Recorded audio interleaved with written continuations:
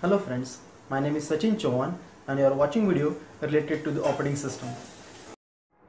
Hello friends, in this example we are solving the problem related to the page replacement algorithm. If you are following my lectures, so I have already told you the theory about page replacement algorithms. In this lecture we are going to solve the problem related to the optimal page replacement algorithm. So optimal the meaning of optimal is that there is no solution better than this solution. The page fault is very less in optimal. So now the page string look like this. The page is given and the three frames are here. Now we have to put the pages into the frames. So this like this. And first three is same for every algorithm. If the page replace uh, the frame size is 3 okay so as we have replaced the pages so the page fault occurred. So total number count up to here is 3 now the op what is meant by optimal? The optimal wants the future. That means in optimal page replacement algorithm we need to find out the future of a particular page. Suppose for this the 1 2 and 3 are already in a particular frames and that means our memory full. Now we have to find out the particular victim page. So if this one is need recently in a future we cannot going to replace this one. After this 2 if again this 2 is going to need in a near future we cannot going to replace that particular page. And here 3 we don't need in a near future because the 3's future is a very after very long time we are going to use that. So we are going to replace this 3 with 4 okay as we have replaced a particular square so a page fault. Okay now it's a page hit because 2 is already in memory so page hit. Again 1 it's a page hit. Now 5 we have to choose a victim page.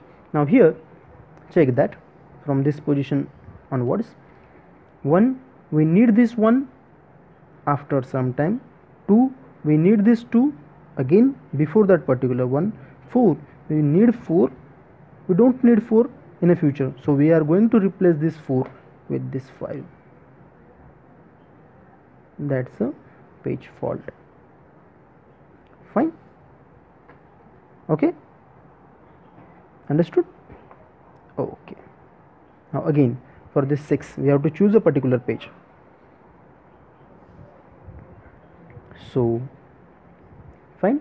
1 we need this one in a near future. Yes we need one 2 we need 2 again in a near future. 5 we don't need 5 in the future. That means we are going to replace this 5 with 6 and that is a page fault okay. Nice.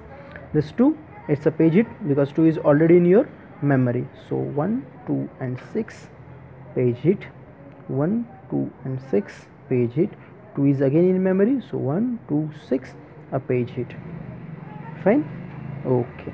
Now for these three we have to choose a page or a victim page. So one we need this one in a future. Yes we need this one. Two we need this two in a future. Yes we need. Six we need also it in a future. So choose a particular page which we don't need in a near future.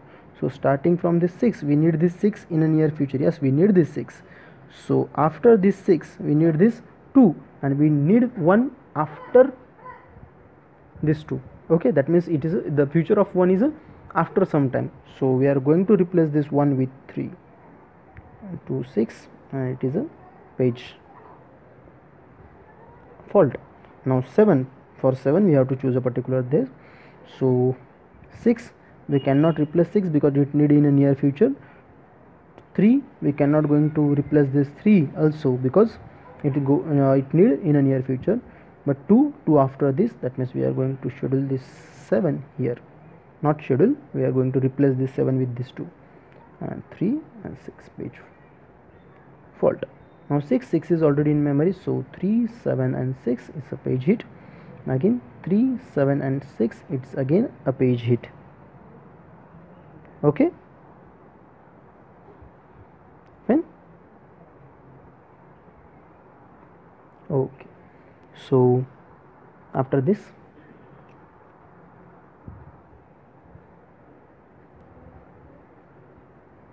Fine. Now this 2 so we have to find a particular victim page. So 3 we need in a near future. And 6 also we need in a near future. But we don't need 7 in future. So we are going to replace this 7 with 2 remains same. So it's a page fault. Now 1 we have to choose a particular victim page. 3 we need these 3 in a near future. Yes we need this 2 we need this 2 also in a near future. And 6 the future of 6 is a after some time. So we are going to replace this 6 with 1 here is 2 here is 3 okay. So 2 now it's a page hit. So 3 2 1 again 3 it's a page hit. 3 2 1 it's a page hit. Now 6 the first page is 3 so we are going to replace this particular page 6 2 1 it's a page fault. Fine. So if we count total number of page hits here so 1 2 3 4 5 6 7 so here is a 9 and page miss or the page fault are 11 okay. So hit ratio here is 9 divided by 20 as 20 number of pages are given and 9 is 9 is a page hit so 9 divided by 20 the answer is 45 percentage. Okay? So you have noticed here the page hits is highest than any other algorithms or the optimal page replacement algorithm is better than your least recently used algorithm and first in first out algorithm. Okay? Thank you. If you like this video, please press like and subscribe button. Thanks for watching.